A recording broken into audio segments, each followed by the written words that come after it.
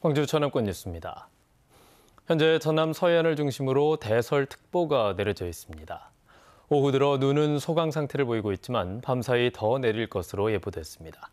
현장에 나가 있는 취재기자 연결해서 자세한 소식 들어보겠습니다. 유승용 기자, 지금은 눈이 그친 건가요?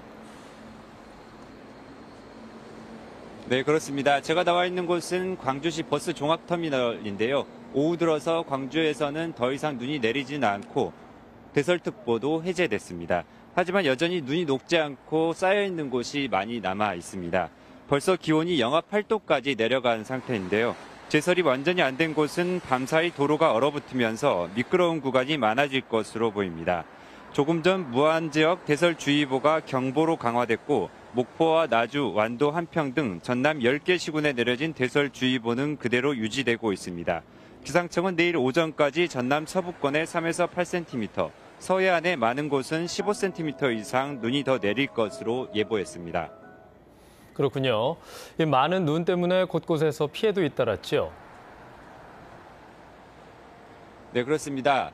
눈이 많이 내리면서 교통 상황이 매우 좋지 않았는데요. 광주와 무안 여수공항에서는 항공편이 결항되기도 했습니다. 교통사고도 많았는데요. 오늘 오전 광주 무안고속도로 몽탄 3터널에서 승용차 한 대가 눈길에 미끄러지면서 파손됐고 보성에서도 차가 미끄러져 넘어지는 등 크고 작은 사고가 잇따랐습니다. 광주에서는 밤사이 대설 상황에 따라 내일 아침 등교 시간을 1시간 늦추는 학교가 많이 나올 것으로 보이는데요. 광주시청 공무원의 출근 시간도 1시간가량 늦춰질 수 있습니다. 대신 공무원들은 아침 7시부터 거주지 인근에서 제설 작업에 참여하도록 할 방침인데요. 광주시가 밤사이 기상 상황에 따라 내일 새벽 지침을 확정하기로 했습니다. 기상청은 내일 오전까지 눈이 내리는 곳이 많겠고 기온도 영하 5도 안팎으로 떨어지겠다며 교통 안전과 시설물 피해에 각별히 유의할 것을 강조했습니다. 지금까지 광천동에서 KBS 뉴스 유승용입니다.